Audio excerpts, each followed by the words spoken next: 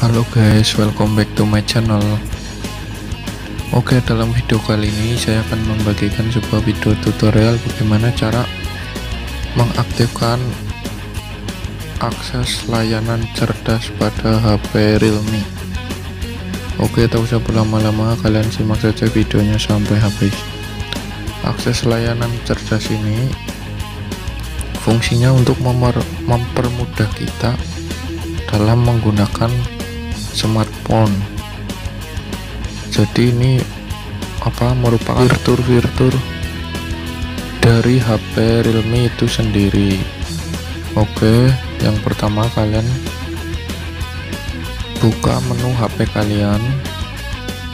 Kemudian kalian cari aplikasi yang bernama pengaturan atau kalian masuk ke pengaturan ponsel nah setelah itu diklik kemudian kalian cari alat serbaguna. Nah di sini kalian bisa klik saja alat serbagunanya. Nah setelah diklik kan banyak pilihan nih. Kalian bisa mengaturnya satu-satu. Yang pertama kita atur dulu tombol navigasinya. Kita klik. Nah di sini kan ada banyak pilihan nih misal layout tombol yang disukai bisa yang ini bisa yang ini. Tapi saya ingin mm, apa menghilangkan tombol yang navigasi yang tiga ini juga bisa. Bagaimana caranya bang? Oh, untuk caranya lihat saja videonya ya. Misal kita klik saja selengkapnya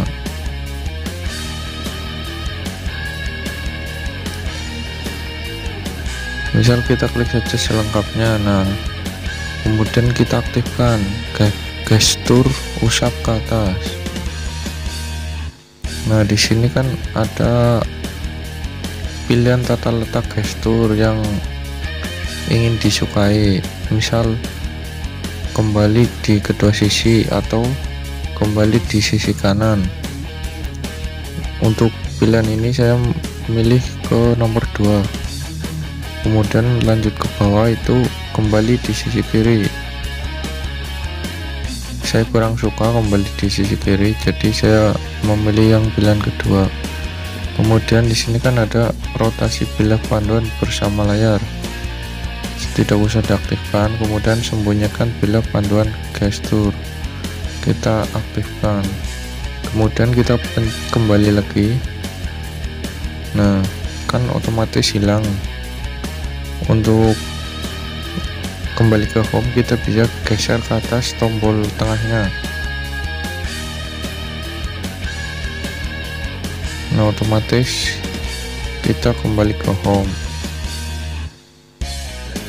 Untuk masuk lagi ke opsi yang tadi kita geser saja bagian layar kiri bawah ke atas nah otomatis aplikasi akan keluar. Kita klik saja. Nah kemudian di sini kan tadi masuk ke tombol navigasi kita keluar dulu. Kemudian kita masuk lagi ke ini gestur gerakan. Kita klik saja.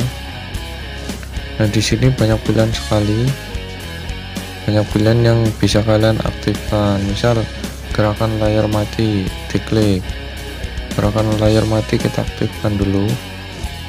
Nah di sini ada banyak pilihan. Misal ketuk ganda layar hidup kita aktifkan.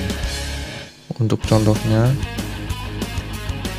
jika layar kalian mati kalian bisa mengetuk layar dua kali. Nanti otomatis layarnya layarnya akan hidup Nah, ini fungsinya untuk menghemat pemakaian tombol power. Jadi tanpa mengeklik tombol power layar bisa hidup. Yang kedua, gambar O untuk membuka kamera. Nah, posisi ini dilakukan dalam kondisi layar mati ya, guys. Jadi saya tidak bisa mencontohkannya karena saya merekam layar dengan perekam layar kita aktifkan saja. Kemudian gambar V untuk menghidupkan sender kita juga bisa aktifkan. Nah kontrol musik kita juga aktifkan. Nah nanti untuk contoh pemakaiannya saya akan bisa atau menggunakan HP lain untuk merekamnya. Kemudian ada pilihan lainnya ini tambahkan gerakan nah di sini ada banyak sekali pilihan. Misal lukis frequency kita bisa apa ya namanya mengatur itu mau apa. Buka aplikasi buka kunci atau memanggil. Kemudian di sini ada geser ke atas. Sama pilihannya itu sama. Pokoknya sama lah kalau mau menambahkan gerakan tapi saya cukup yang itu tadi.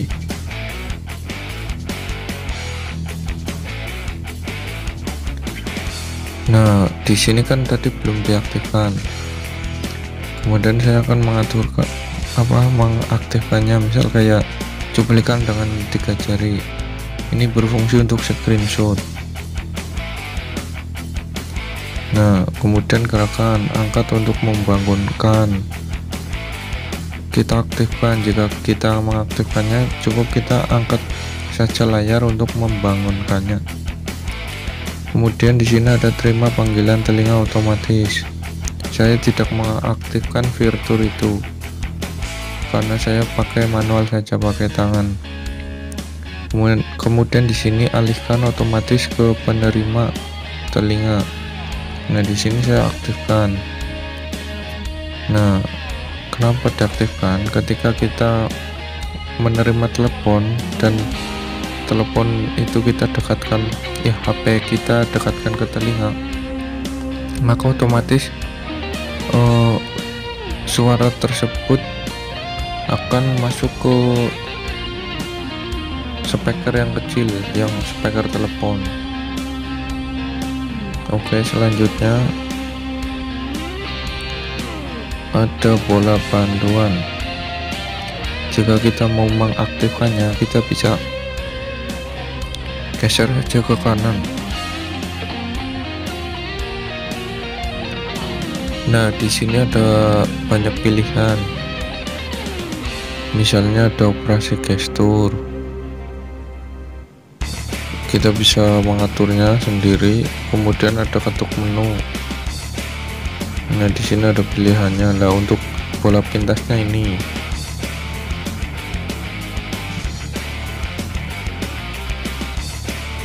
Di sini juga ada kita bisa mengatur bola kebeningannya itu. Nah, semakin digeser ke kanan semakin jelas warnanya nah tapi saya tidak akan mengaktifkan bola bantuan. Karena apa? Karena tombol navigasi saya masih bisa berfungsi. Tombol bantuan ini fungsinya untuk menggantikan apabila tombol navigasi saya sudah tidak berfungsi dengan baik. Makanya kita butuh tombol ini.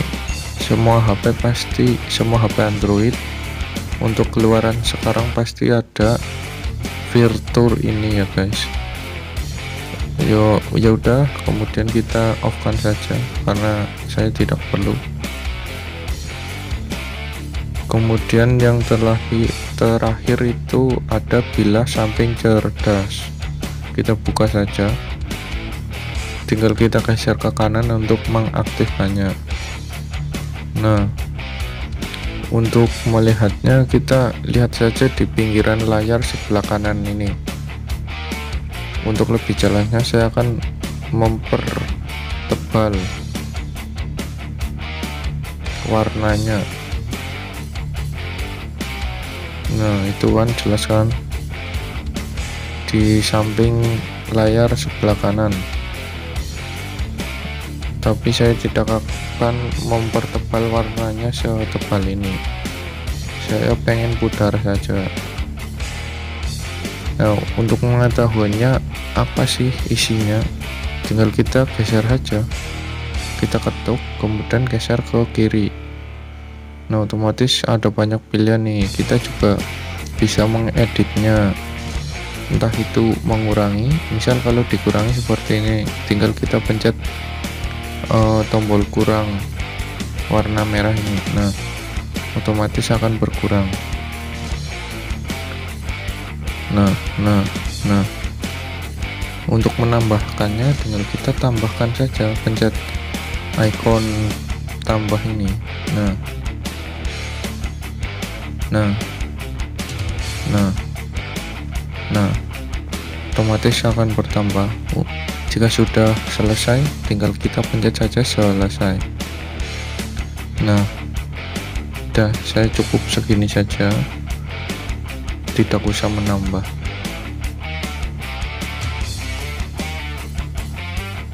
Kemudian oh udah semua ya guys? Paling tinggal buka Google asisten dengan tombol daya tapi saya tidak mau mengaktifkannya fitur tersebut oke okay guys segitu dulu video dari saya tentang bagaimana cara menggunakan alat serbaguna di HP Realme maupun Oppo Oke, jangan lupa like, komen, dan subscribe. Tinggalkan komentar dan saran tentang video ini. Oh, semoga dengan adanya video ini kalian bisa lebih paham bagaimana cara menggunakan alat serbaguna ini. Oke. Jangan lupa subscribe ya, guys. Segitu dulu video dari saya oh ya untuk apa gestur layar mati nanti saya membuat videonya dengan merekam dengan HP lain oke okay? Segitu dulu video dari saya. Thank you. Nah oke okay guys kali ini saya akan mempraktekkan fitur gestur gerakan tangan pada saat layar mati. Apa saja yang bisa kita lakukan? Contohnya ya kita ketuk dua kali. Pasti layar hidup. Kemudian kita ketuk dua kali lagi layar mati. Kemudian kita apa garis bulat masuk ke kamera? Nah ini masuk ke kamera. Untuk kembalinya tinggal kita geser saja kan? Tadi aktifkan gestur geser navigasi geser. Kemudian kita ketuk lagi biar mati. Nah di sini tinggal kita gambar saja V. Masuk ke flash flash akan hidup. Untuk mematikannya tinggal kita pencet dua kali. Nah otomatis saat layar hidup flashnya mati. Kemudian untuk mengang mengangkat layar ini nanti otomatis layarnya akan hidup karena sudah diaktifkan fiturnya nah, untuk menurunkannya layar mati